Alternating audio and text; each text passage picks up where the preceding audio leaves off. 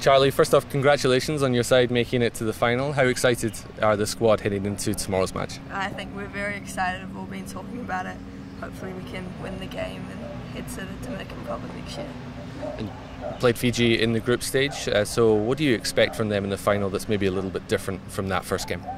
Why we expect them to come out very fast, very physical throughout the whole game. I think for us, we just need to put away our chances and play how we've been playing. It was a it was a tough game, only 4-1. So I think if we play how we've been playing, hopefully we can do well. And for a lot of the squad, it will be their first experience of a, a final in international football. What's sort of been the message amongst the squad before tomorrow's match?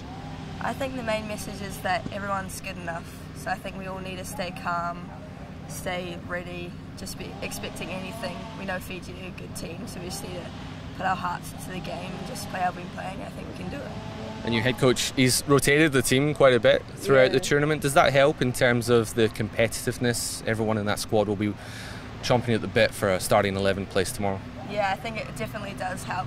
I think there's been people playing in, out of their positions, but they've been doing really well, and so it makes the people who might be in that position work harder to try and get that starting position and everything. So yeah, We wish you all the very best on Tuesday, Charli. thank you.